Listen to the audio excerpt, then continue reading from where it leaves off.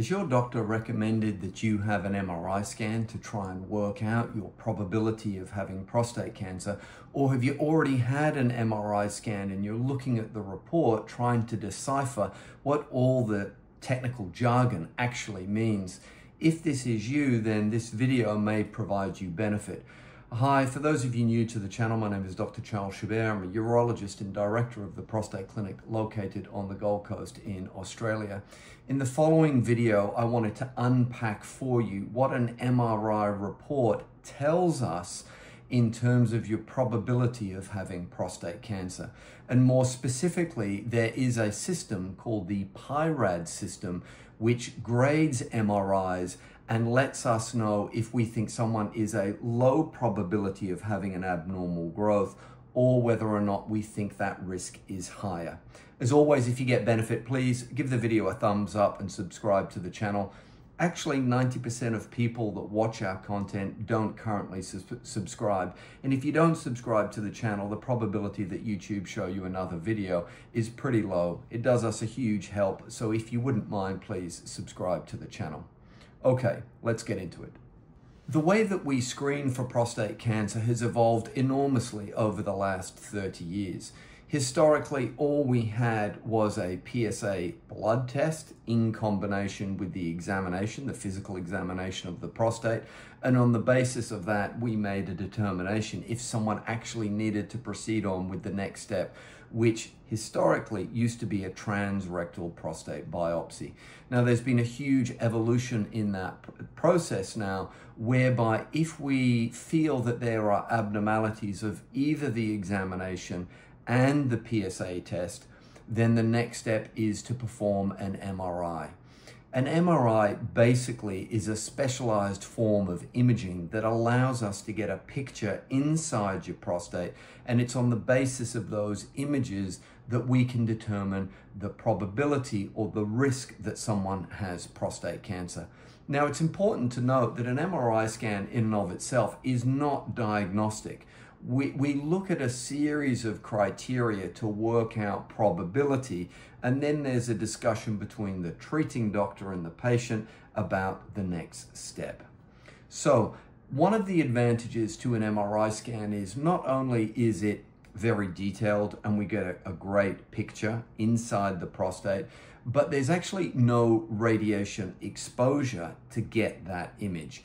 An MRI basically is a big magnet and it's a big donut in effect and men go into the donut feet first up to around uh, mid chest and it can take 30 to 40 minutes for us to get that picture but the picture depending on where it's done is, is pretty reliable in terms of assessing risk Okay, now one of the challenges that we have had is, historically is that one radiologist might think something looks okay, and that might be very different to what another radiologist actually thinks.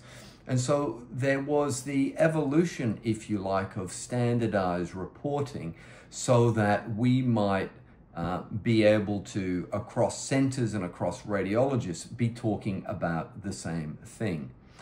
The way that an MRI scan is reported or graded is with a PI-RAD score. Now, PI-RAD stands for Prostate Imaging Reporting and Data System.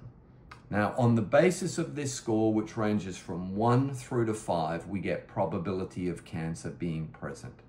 So a PI-RAD 1, well, that's at the bottom end of the scale, but basically is plumb normal. The scan looks entirely normal. There is nothing suspicious that can be seen.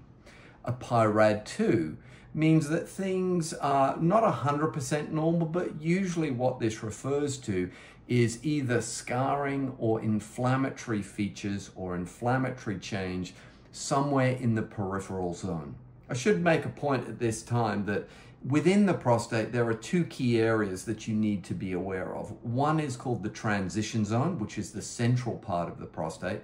That's the part of the prostate that basically gets bigger as we get older, the part that is prone to BPH, and it's that enlargement in the prostate that causes urinary symptoms. The outer part of the prostate is called the peripheral zone, and that's where the majority of cancers arise from that really underpins why it can be so challenging in diagnosing prostate cancer because cancer does not cause symptoms until it's very large and locally progressed. If someone has got a PIRAD 1, the probability that they have occult prostate cancer, cancer that we cannot see, is around 10%. If someone has a PIRAD 2, then crudely speaking, it's around 20%.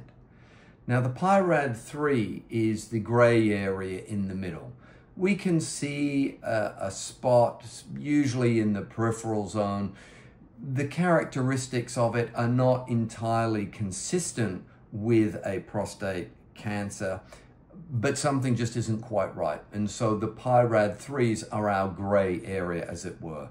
The majority of people with a PIRAD 3 will actually have benign disease only. It's around 70%. 30% of individuals can actually have prostate cancer. Now it's the fours and the fives, the PIRAD fours and fives that correlate more strongly with a prostate cancer diagnosis.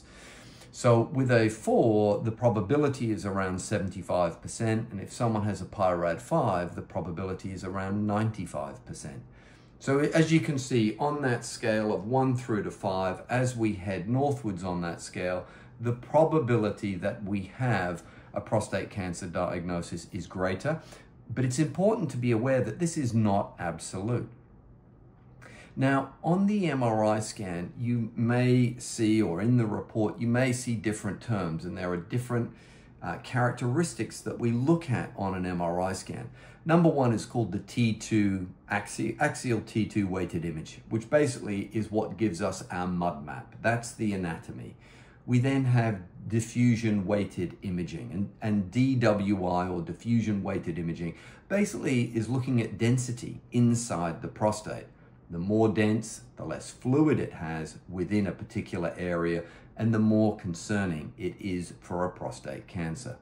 The final characteristics is the DCE, which is dynamic contrast enhancement.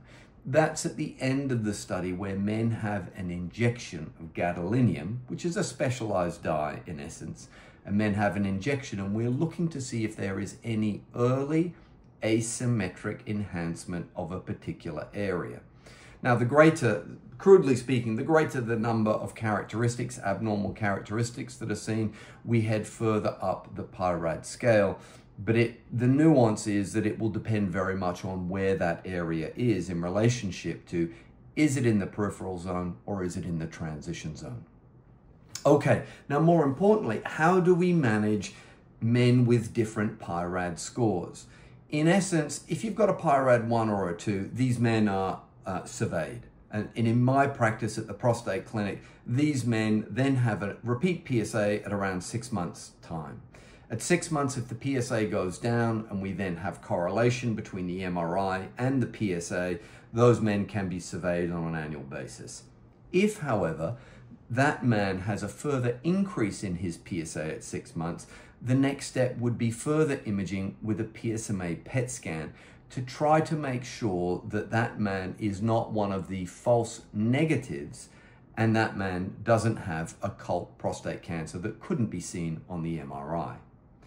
Now, if someone has a four or a five, so if we see a significant lesion, well, that man in almost all cases, will proceed on with a targeted biopsy of that area so that we can get the characteristics of what that spot is. Number one, is it actually prostate cancer? And if it is, what is the Gleason score?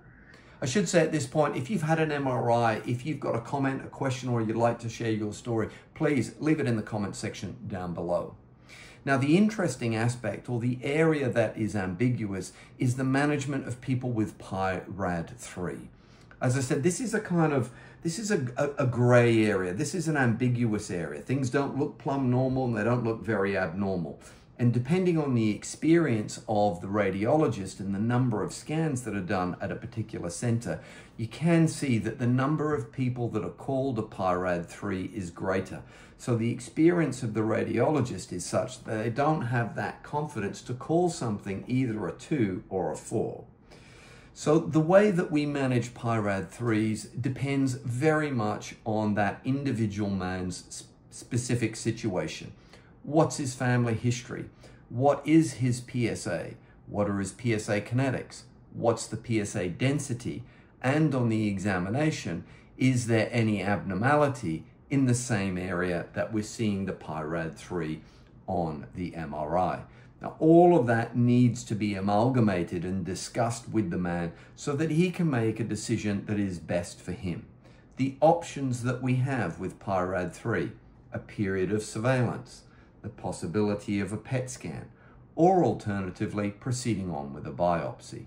The final decision will depend very much on the discussion that you have with your treating urologist. Some common uh, misconceptions that I just want to highlight at the end here if you've got a PIRAD 4 or 5, it does not mean you have a diagnosis of prostate cancer.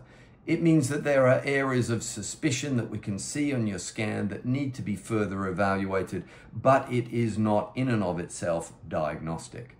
And just because you've got a PIRAD 1 or a 2 doesn't mean that there's a guarantee that there is nothing abnormal in your prostate. It means that there's nothing that we can see on the MRI but you should still undergo surveillance to make sure that your PSA tracking is concordant or in agreement with what we're seeing on your MRI. If you got benefit, please give the video a thumbs up, subscribe to the channel. If you'd like to know more about prostate issues, have a look at this video or alternatively this video here. If you'd like to join us, we have a live event on the last Thursday of every month at 7.30 p.m. GMT plus 10, which is Brisbane time. Join the channel, become a member, ask your question, and we will have a discussion with regards your particular question at that time. Until the next time, take care of your prostate.